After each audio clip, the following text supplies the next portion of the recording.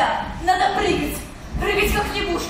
Постоянные бомбежки, голод, страх и потеря близких для детей войны – это все не просто слова, а их детство. Тяжелые условия жизни в годы Великой Отечественной войны для них это впервые. Нет опыта старших поколений, некому помочь и подсказать. Некоторым из них пришлось столкнуться с жестокостью, пережить ужасы, которые происходили в концлагерях. Свои переживания и воспоминания дети записали в дневники. Именно эти подлинные истории легли в основу музыкально-драматического спектакля «Отголоски» «Отголоски». Постановку показали в Театре музыки и шоу «Третий Рим». А, для меня спектакль очень непростой. А, я его воспринимаю очень близко к сердцу. Каждая история каждого дневника, она как будто проходит через тебя, и оставаться э, с холодным носом и безучастно и равнодушно очень сложно.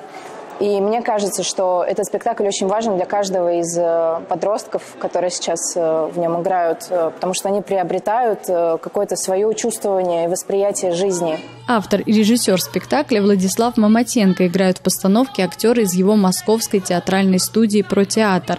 Впервые спектакль показали в мае 2021 -го. За три года он постоянно менялся. Артисты взрослели, их восприятие становилось другим. Спектакль был участником седьмого книжного фестиваля на Красной площади и проекта Министерства культуры Российской Федерации. Его каждый год показывают на разных сценах в преддверии Дня Победы. Артисты обыгрывают те события, о которых рассказывают дети войны в своих дневниках – это ребята от 5 до 14 лет. Им пришлось расти в тяжелых условиях того времени.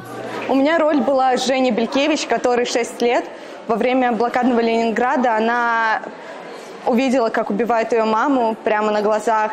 От нее ушел папа на фронт, и они остались просто со своим братом и сестрой Потом их, э, немного зайдем дальше, потом их семья приемная забрала, и по итогу у них все хорошо сложилось.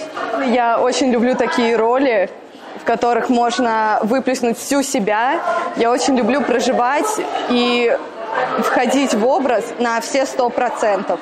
Поэтому для меня это удовольствие. Чтобы создать нужную атмосферу, во время спектакля играла симфоническая музыка, были вокальные партии в живом исполнении, а также все сопровождалось кадрами военной кинохроники. Технические особенности иммерсивного театра «Третий Рим» помогли зрителю практически стать участником происходящего на сцене, полностью все прочувствовать. Среди зрителей были школьники. Такой рассказ о событиях Великой Отечественной войны помогает им понять, с чем пришлось столкнуться тогда их сверстникам. Ой, это было очень классно, очень круто.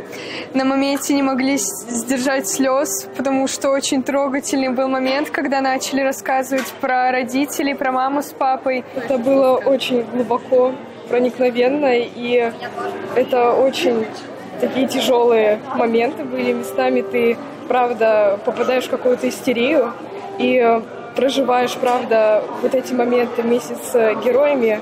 Ребята большие молодцы. Был очень трогательный спектакль. Вместе с актерами мы пережили эту историю и как будто попали в годы Великой Отечественной войны.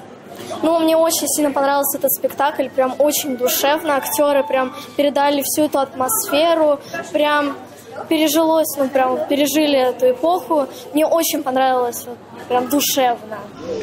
Великая Отечественная война, которую вел советский народ против немецко-фашистских захватчиков, победоносно завершилась.